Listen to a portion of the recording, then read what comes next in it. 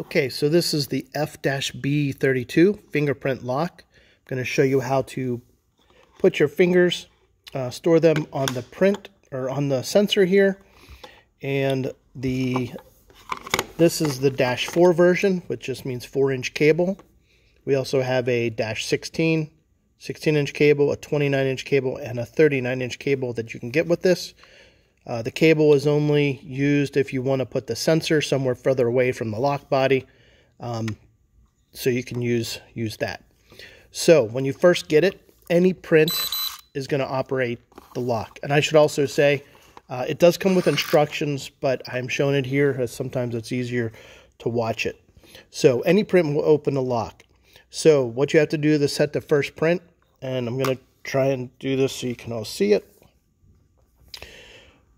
This is going to take about a total of 10 seconds. So I'm just going to explain it. You're first going to put your finger on there, on the sensor area, and hold it there. Don't remove it. Just keep it there. It's going to go green. It's going to unlock. The plunger is going to pull in. The plunger is going to come out. And then still hold the sensor. Don't move your finger. Then eventually it's going to go green again. Once it goes green again, then you release it and it'll be going blue. Once it goes blue, that is when you put your finger on the sensor uh, I believe five times to set your print. So this is how it works. Push, see it went green, beep two times, I'm holding it. Adjust locked again, I'm still holding it. No color change, just went green. As soon as it goes green, release it. Then while it's blue, you have to put your finger on it and put it on different directions so it gets a good read of your print and once it beeps two times, that means it's done. It read all the prints it needs. Just let it reset. Okay, so now the only print that's going to work is going to be this one. So that's how you add the first print. You want to add more prints, you have to use, so that's kind of the manager print now. So the manager print would push the finger there. They're going to hold it there just like the other time it's going to go green again and then I'm going to release it.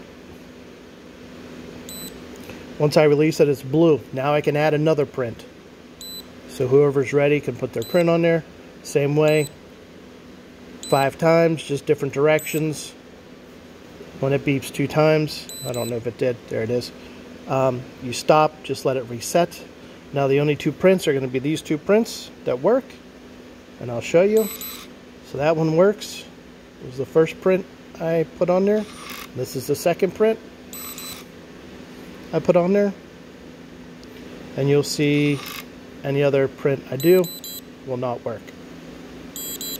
So it's only this print and the other print. So that's how you add prints to it. If there's any other questions, you can also always send us an email. Um, visit our website, www.lockconnection.net, if you have any questions. Thank you.